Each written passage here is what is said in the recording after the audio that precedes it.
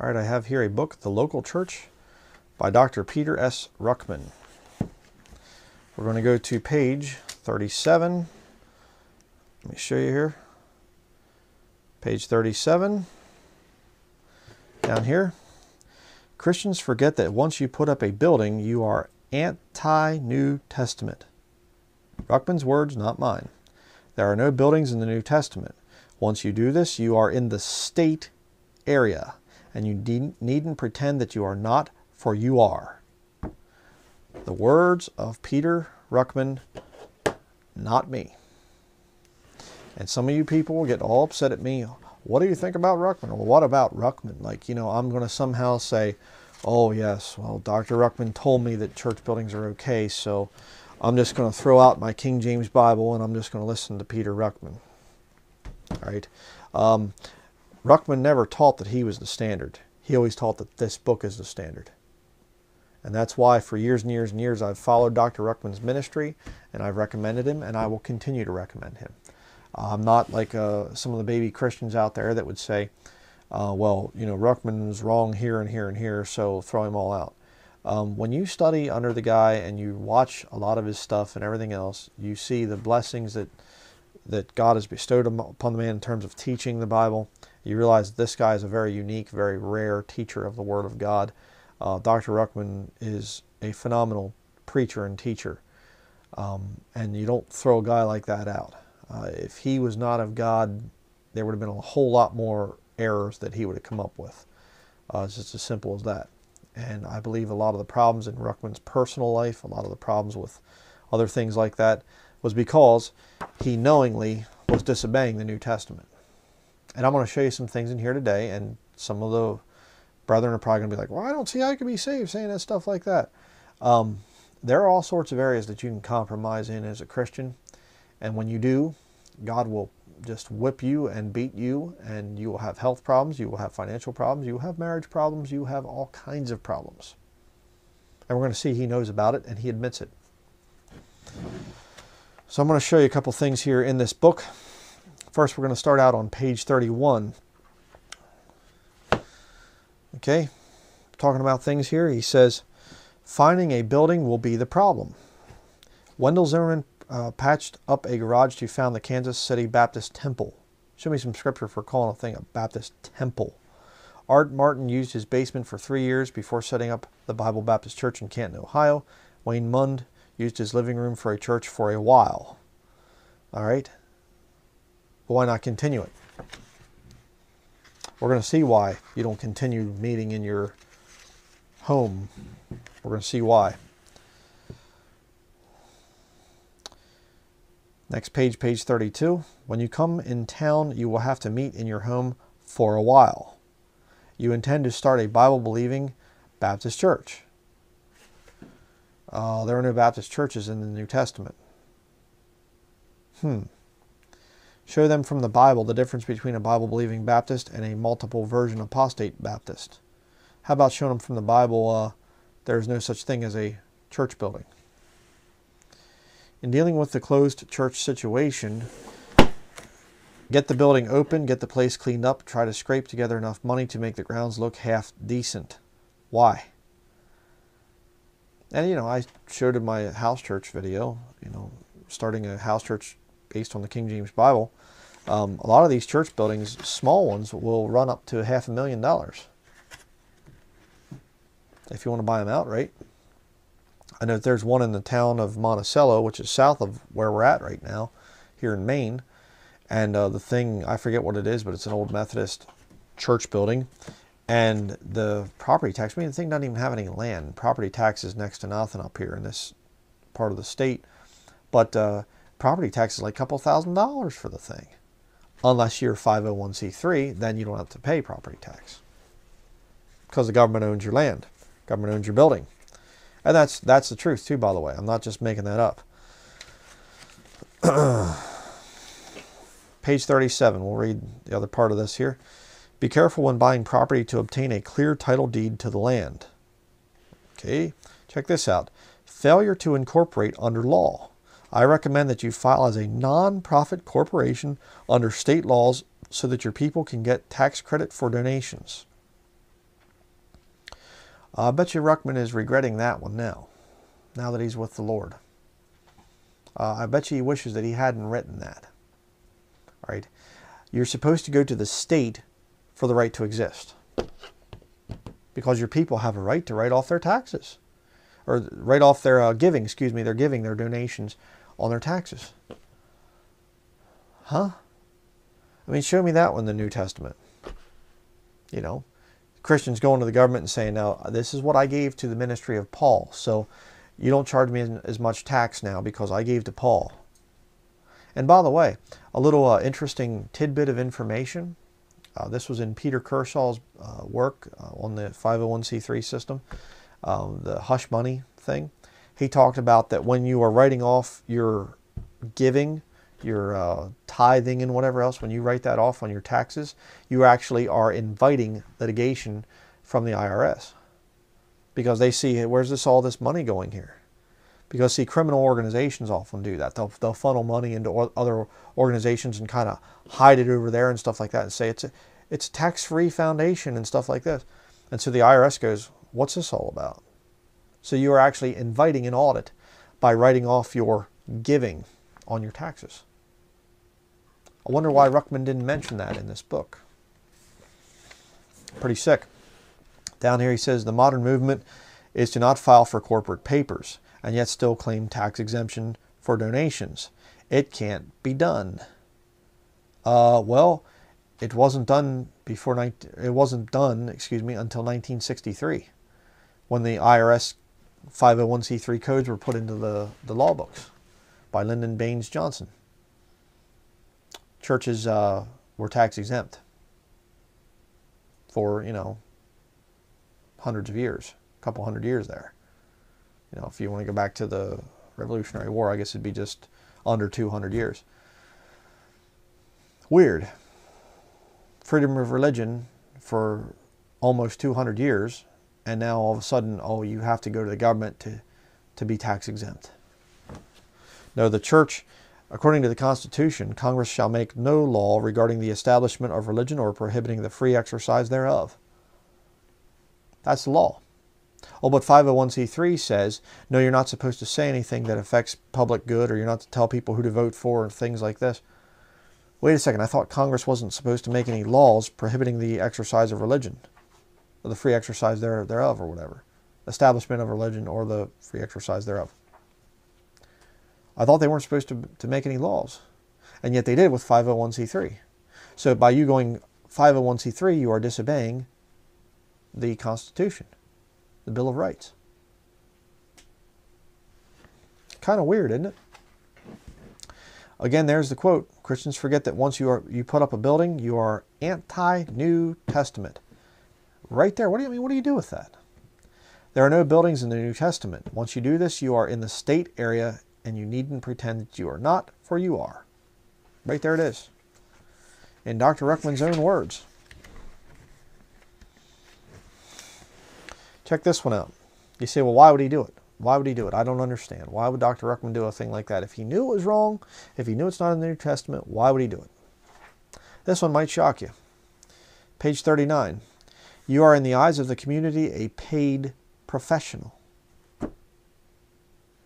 Kind of weird thing.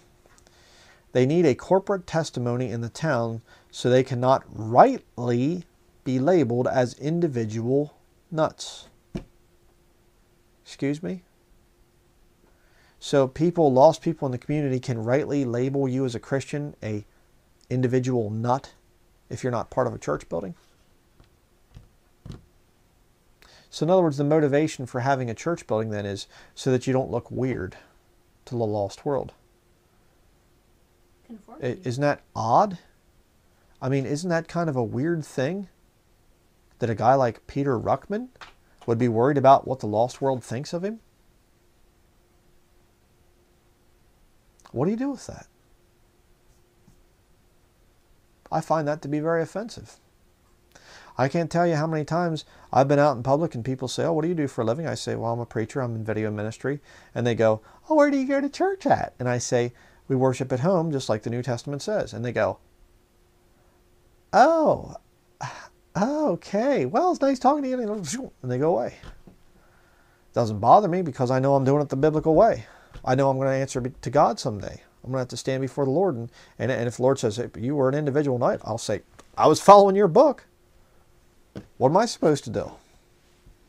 Hey, if I'm wrong for not having a church building, I'm going to stand before the Lord someday and he says, hey, why didn't you have a church building? And I'll say, you didn't tell me to do it. It's your fault. Isn't that weird? And I remember years and years ago I was preaching and actually a graduate of PBI told me, he said, he said, we need to get you in a church someplace where people can hear you and not in just this house church thing. Why? So people could start to emulate me? And they have done that, by the way, in church buildings. When I've preached in church buildings, I get people emulating me, coming up, oh, brother, that was a great sermon. Oh, it's a... Create a little cult of personality. But let's continue. Check this one out. Number three here. All of their giving should be tax exempt. They are entitled to it. There's a big problem here in America. It's called the entitlement mentality. I deserve things. I'm owed things. You know, I'm going to tell you right now, you're not going to get too many blessings from the Lord if you're going to go to the state to get benefits, kickbacks. Lord, I offer you I offer you my money, Lord. All to Jesus I surrender, all to him I freely give till tax return, then I get it back. I would ever love and trust him until the IRS gives me tax return money. I surrender all till tax time. I surrender all till the IRS gives me my money back. That's called sarcasm if you don't understand, okay? I'm so sorry if you're offended. Uh, I'll be sorry. I, no, actually, it's gone. No, I'm not sorry. Okay. Um, page 56. He, he goes into this whole thing here. Uh, page 54 starts uh, talking about these guys with good works. Brother, he bought 10 acres of land and floated a 120,000 bond program $120,000 bond program. He rose to 790 with about 348 being bussed in. He now averages about 500 a week. Uh, uh, there's another guy I met in home. He completely reconditioned, furnished the warehouse for 15,000. Went right, right up to about 725 in Sunday school. Um, wound up buying 20 acres of land and is now running 500 in Sunday school. It works, baby. Bring them in, boy. Buchan Vic was not even ordained. Hugh Pyle never went to any college or institute. What's the point? They managed to raise $100,000 to set up a building. In his fourth year, this brother was running 723 in Sunday school. After raising another 170,000 and paying off a brand new auditorium, Brother Singleton said, next to my Bible, I studied my financial statement the most. And that's a good thing. That's a good thing according to Dr. Ruckman. Oh, where's this at the New Testament again? I don't remember where the verse is that they're running so many in Sunday school. Well, that's right. Sunday school's not in the Bible either.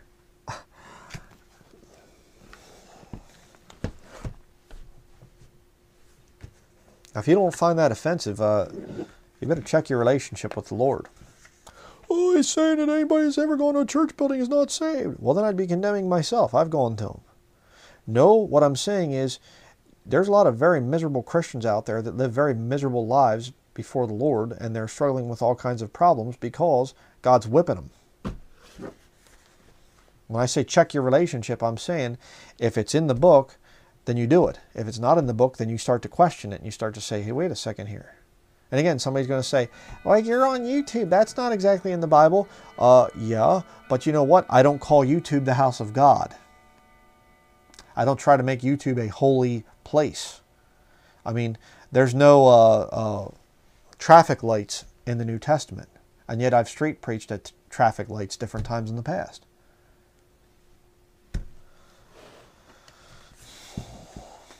But uh, let's continue. Um, I'm not going to read all this stuff here. Rudy Holland running over is running 600 to 700 in Sunday school with a weekly offering over 3,200, about 9,000 now. Why even put that in there?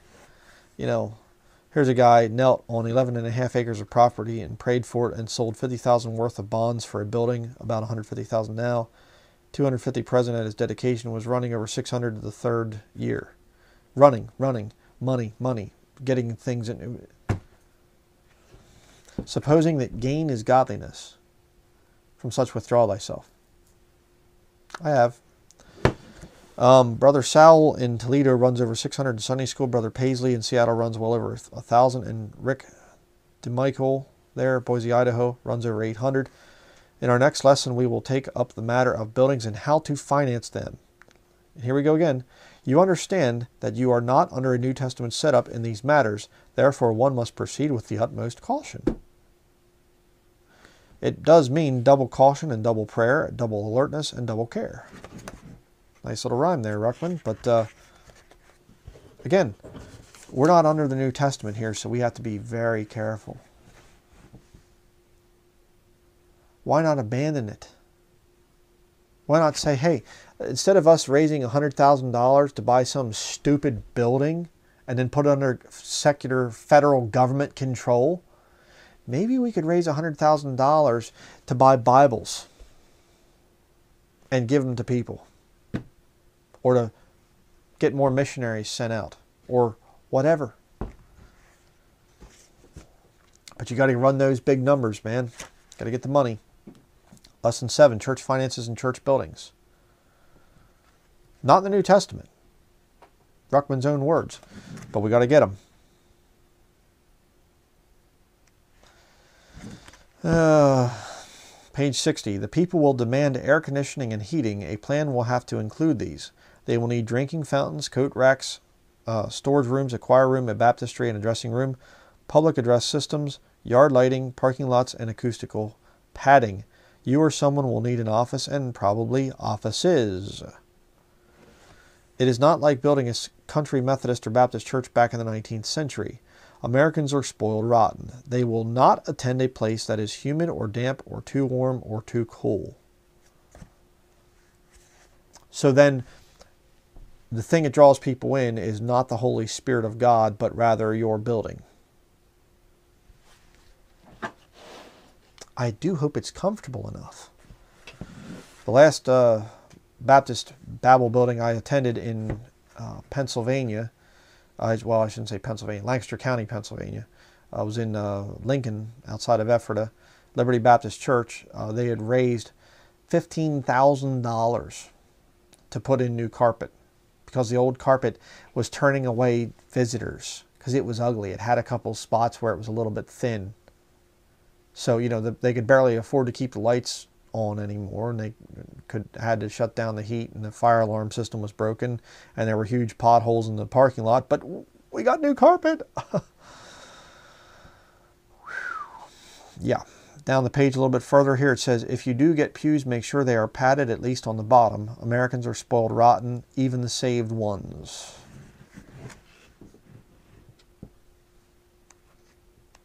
Your building is what brings them in. Here you have page 64, you have the uh, Greek Parthenon, the amphitheater, not Parthenon, excuse me, the Greek amphitheater with the orator standing up there. Look up the pictures. I mean, it's insane. This is how you're supposed to design your church building. Here we have page 68. In building a new building, the general rule is the new building should be at about twice the size of the old building. You can get too optimistic and overbuild. okay. Got to build that building, man. And when you rebuild, when you outgrow your first building, make sure you build it twice as big. So you can end up like J. Frank Norris's one building there in Detroit that's now a home for rats. And, uh, you know, professing Christians paid for that stupid building, and now the thing's abandoned, fallen down. What an incredible waste of money. Page 75. And check this out, this one out. Do not be afraid to press your people for money in emergencies or where a real need has to be met in the church. Um, I thought the Bible said, not of necessity. God loves a cheerful giver. But you're to press them. When you got those big bills to pay, because you got to keep your government corporation open, you got to get you got to lie to the people and tell them they owe you 10% of their income. Somebody sent me a, a link to one of Sam Gipp's uh, fairly recent sermons, and it was just so vexing. I, you know, some of Sam Gipp's stuff is a real blessing. Other stuff is extremely vexing to me, and I, you know, I haven't. I'm not gonna. I'm trying not to come out and just blast the guy. It just. It's it's so difficult sometimes, you know. It, you know, you're just supposed to just keep overlooking everything, you know. And I'm just like, but he's he's at this Catholic cult building, and he's like, you know, you you need to give God ten percent, and then after that is when you really start to give. God gets your ten percent, and then after that is when you're giving, when you'll be re- rewarded for it. Ten percent, there's no reward for it. That's just required. I mean, that's not anywhere in the New Testament. It's a total lie. But I guarantee you what's going on there the hireling at the little Baptist temple is saying, Brother Gipp, we're having a hard time. We're barely keeping the lights on. Okay, we'll have to preach on it. And so he follows Dr. Ruckman's advice right there pump the people for more money if you have a need. It's disgusting. Here, Ruckman actually quotes Jack Hyles right there. Jack Hyles, one of the biggest scam artists, you know, I mean, you know, I, I have in the introduction to my video series on Jack Hyles, I mean, guy was a fornicating, just lying, false, you know, preacher. I mean, he got ugh, disgusting. But he, he said in the beginning, he's like, you know, at one time he's preaching and he's like, you know, I just bought a school. I just bought a whole city block. I just bought this. I just, I don't know why I bought it, but I just wanted to buy it, you know. Big, big, big, big money.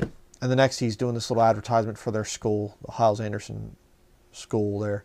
And he's like, all we do is just barely pay the bills. a Scammer. But uh, here we have page 85. Someone must open and lock the building you meet in if this is necessary. You will need a sort of purchasing agent for furniture, sound equipment, insurance, etc.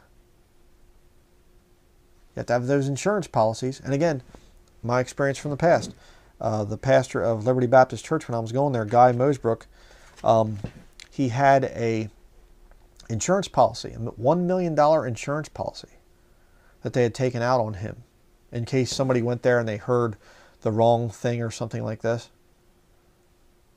You know, and then they get offended and they get, you know, like if he'd, he'd be preaching against sin and somebody go home and commit suicide because of what they heard and the family tries to sue him, then they have a $1 million insurance policy. That's in the New Testament someplace. I'm just not sure where. Page 88. Many a would be do it all has driven himself crazy or into, into ulcerated insides trying to run everything in the church. And that's true. That's true. A lot of these guys, they'll just run themselves rampant trying to take care of this big stinking building. Those big buildings are a tremendous waste of your time, your money, your energy. I mean, it's just but we got to continue it, brother, because we're it's just it's what we've done now for just a few hundred years, and so we got to do it this way. We can't give it up. We can't go back to the Bible. We can't do things like they did in the Bible. Cuz you know it it it's just wrong or something. And here he's making saying about youth directors, the proper kind of youth director. Uh, none of this long-haired, bearded, lace collar, tight pants, Corvair stuff. Huh? And I saw that a lot from Ruckman, you know, well, bearded and all this other stuff. And you say you're taking offense because you have a beard? Yes, I am. Uh, you see, I'm a, I'm a man. That's why I have a beard. And I find it interesting that Ruckman teaches that in the resurrection we're going to be conformed to the image of Jesus Christ. And yet he'll draw pictures a lot of times of Jesus with his arms around saints, and the saints don't have beards like Jesus does. But I thought we're conformed to his image.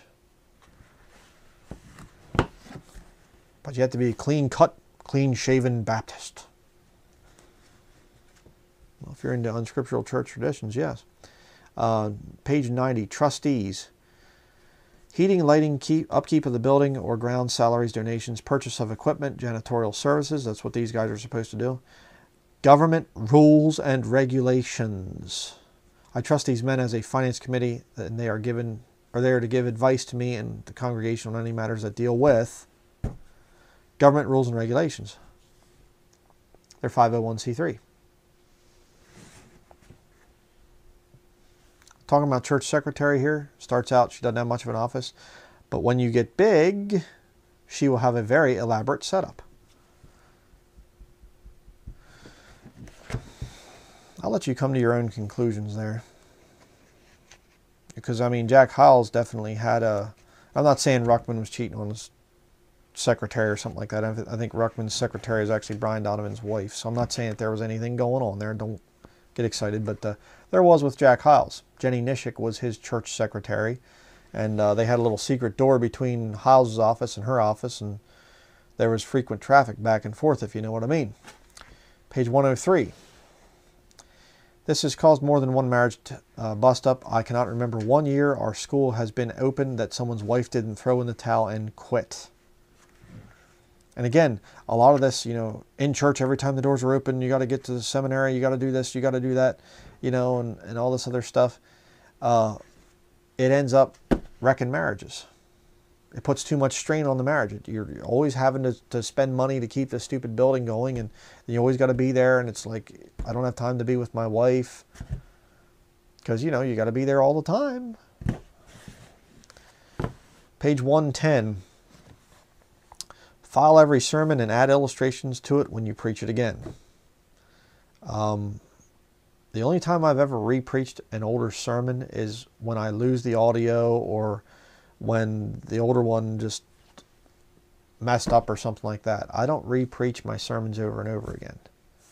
But a lot of these guys, these Baptists, man, they just go around and they just preach the same stuff just over and over and over and over again. So, uh, okay, page 118. There will be all kinds of problems like roofs that leak, rooms that do not heat up, furniture that gets moved in the wrong place, class records and enrollments to be kept, records of visitors to be kept, and so forth. Again, how much of this stuff is even necessary if you're meeting in homes or meeting out in the woods or meeting out in the fields like they did in the New Testament? And again, you know, you go into this thing here. Um, not going to read all this stuff here but uh, little uh, games that can be played in Sunday school to get Sunday school attend- attendance up, gimmicks for raising Sunday school attendance. You know, Sunday school's not even in the New Testament. You know, I like this one here. There's the Bonehead Club where your men have to wear a tie pin with a skull and crossbones on it until they bring a new member or an absentee to Sunday school. That's the right motivation, you know, right there. But, uh, you know, it goes down through here talks about uh, one church platform. They brought in an elephant for the kiddies. Unfortunately, he decided decided to relieve himself about then. I've not figured out to this day if that was an accident or Lord showing what he thought of the whole godless mess. Well, I'd go with option number two there. Page 121 Passing out candy and toys to the smaller children in daily vacation Bible school and like meetings is proper, but I would not take it beyond the 12 year old level. Don't get into the guess which of our buses has a $5 bill taped under the front seat business. Don't go overboard in the giveaway business. Business. Thought it was supposed to be a New Testament church. Oh, that's right. It's a anti-New Testament, but do it anyhow. So I don't know if there's anything else. Yeah, just write or just show you this one here. Uh, lesson number 13, The Joys of the Ministry. When I came to Bob Jones University in the fall of 1949, I bought, brought a wife and daughter into a 24 foot plywood trailer that was about eight years old. It had no bathroom, no running hot water, and no refrigerator. We hauled ice by the block to put in the ice box. In the winter, icicles formed inside the windows, and I had to stuff them with ice, or excuse me, with rags. We used a community bathroom. Two more children were born while we lived in this trailer. My income was $30 a week from the GI Bill. I received no financial help from my parents, although my wife's people occasionally helped us out. We lived this way for five years. I bought my first car in 1950 after walking for 27 years. I had not enrolled in BJU to learn the book, and it's a good thing that I did not. I would have received a massive, massive shock. That's very true. I went there because my mother-in-law, Mom May, had recommended the place as a clean place. She had sent two of her sons and one of her daughters there, and none of them had stayed. I got the lay of the land real quickly, and in so doing, probably messed up my own life for another 12 years. And he did. He did. But why recommend it to other people to do it? And I remember seeing Ruckman in one of his sermons. I'm not going to try to find it and put the clip in and all this other stuff. But uh, I remember seeing him in one of his sermons, and he said, you know, he said, when I hit the judgment seat of Christ, I wonder how many rewards I'm actually going to get. Why? Well, because the majority of his ministry, this stuff up here, I believe he's going to be rewarded for. This kind of stuff, his Bible teaching and preaching and things, defending the King James Bible, you won't find anybody that's better at that teaching the Word of God. And I mean, just a variety of subjects. Praise the Lord for Dr. Ruckman on those issues. But in practice, what he did with his church building was completely unscriptural. And he knew it. Yet he persisted in it. I just want to show one thing here. Another thing really quickly. This one here called The God Called Preacher. Dr. Peter S. Ruckman. Again, in, in line with the whole uh, perversion thing. He says here, the last time I was propositioned by a teenage girl was in Waco, Texas during a revival meeting. The proposition was clear cut. I was 72 years old at the time. A teenage girl offering sex, basically, to a 72 year old man. Uh, there's no perversion in these things. Oh, it's perversion all the time. And again, you can pretend, oh, well, the, the house church is the same and all this other stuff. Please, oh please. I don't believe that for one minute. Okay? Absolutely ridiculous. So, uh, if you're a, a, fan of Dr. Ruckman, um, you need to understand that at least he was honest, unlike a lot of you out there, you know, that are saying, there's, you know, nothing and blah, blah, blah, blah. Oh, the church buildings are fine. They're, they're okay. God's used them, blah, blah. Hey, Dr. Ruckman, in his own words, said it's anti New Testament. What are you going to do with that? You better get right with God. Okay? I had to make those decisions. I had to to come out of the whole Babel building situation and just simply say, you know what?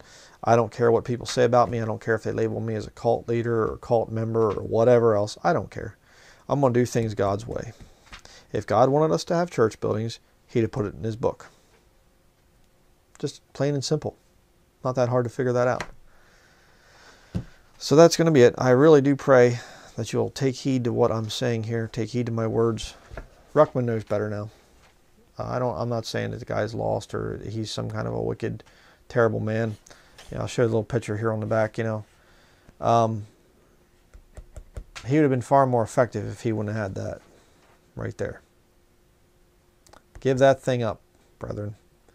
Uh, there's no scripture for it, and all that these things are, they just are magnets for trouble and they have trouble down there all the time. I know people that go there. I know people that have gone there, attended the institute, everything. I know people. There's problems down there all the time. It's just strife and contention. You say, well, there's been good times too. Oh, sure, sure, yeah, there's been good times. Yeah, you know. but it's not scriptural. It's anti-New Testament. Get away from it.